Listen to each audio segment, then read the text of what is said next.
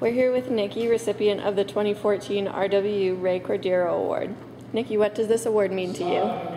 Um, I honestly didn't expect to get it. Um, Scott's one of my best friends on the entire planet, and I've known Ari since my freshman year, and they both are very deserving of this award. And um, it just means the entire world to me. Um, coming in my freshman year, I wasn't even supposed to go to college because I was so sick, and the university did above and beyond what they could for me to make sure that I could come here and pursue my dreams and my goals to go to college and kind of talk to my doctors to make sure I could come and just persevere through everything that I wanted to do, plus athletics, plus all my leadership, and to be here tonight is really amazing.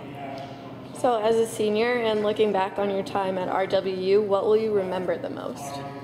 It would definitely be the people that I met and like the experiences that I've had. Um, every single person that I've met has changed my life for the better. I would never have guessed half the things that I've done here to be a part of, and I'm truly blessed and grateful to be a part of them.